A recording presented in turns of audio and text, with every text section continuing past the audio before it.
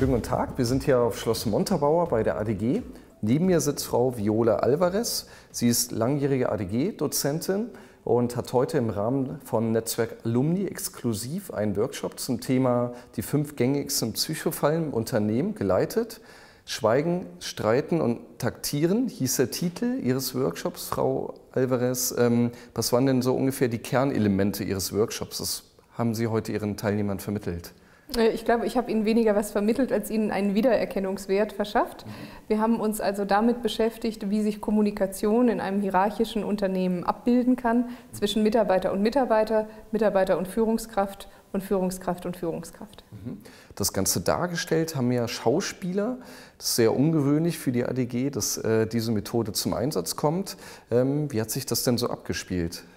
Die Schauspieler haben Szenen aus dem Unternehmensalltag dargestellt. Das heißt, sie haben versucht, den äh, Teilnehmern des Workshops eine Szene darzubringen, wie wir sie vielfach im Unternehmen erleben. Zwei Mitarbeiter haben einen Konflikt miteinander, die Führungskraft mischt sich ein und das hat natürlich einen humoristischen Effekt. Es hat aber sicherlich auch den dramatisierenden Effekt, dass man dadurch etwas anders vielleicht nochmal über die eigene Führungsarbeit oder auch die eigene Unternehmensrealität nachdenken kann. Mhm.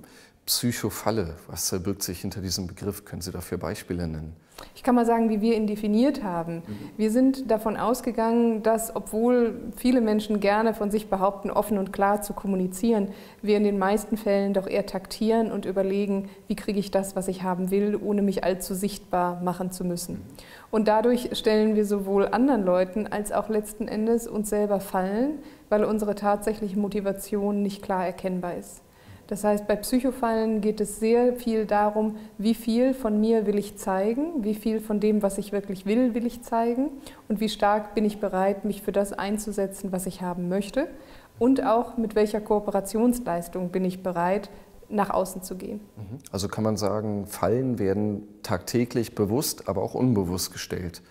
In einem ganz hohen Maße unbewusst, aber auch in einem hohen Maße bewusst gestellt. Warum tappen wir denn oft so in Fallen? Weil wir uns für schlauer halten als alle anderen und weil wir denken, wenn wir so schlau sind, dann kommen wir zum Ziel, ohne dass die anderen es merken. Und dabei blenden wir natürlich einen Großteil der Realität, die uns umgibt, aus. Und wenn wir uns für schlauer halten als alle anderen, sehen wir nicht kommen, was alle anderen vorbereiten. Mhm.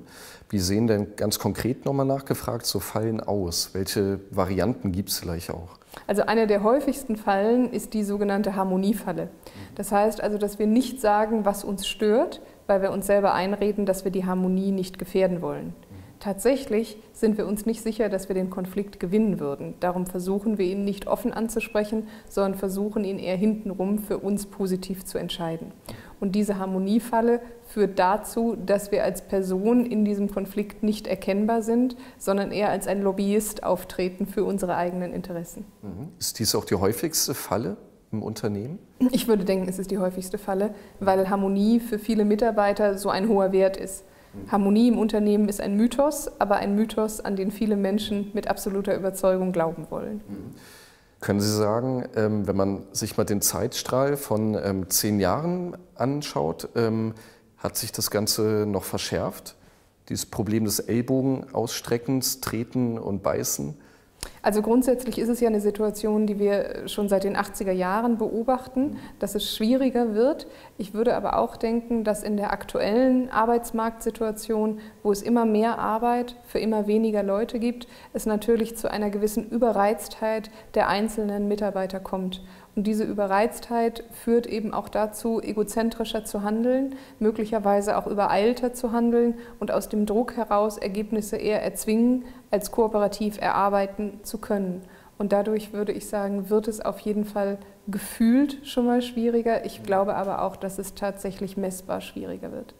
Frau Alvarez, vielen Dank für das Gespräch. Ich bedanke mich auch.